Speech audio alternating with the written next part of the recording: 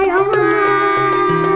Ma, kita pengen pulang kampung nih. Kangen masakan Mama saat lebaran. Iya nak, Mama juga kangen kamu pulang kampung dan masakin kamu makanan kesukaanmu. Nanti kalau situasi sudah membaik, baru pulang ya nak.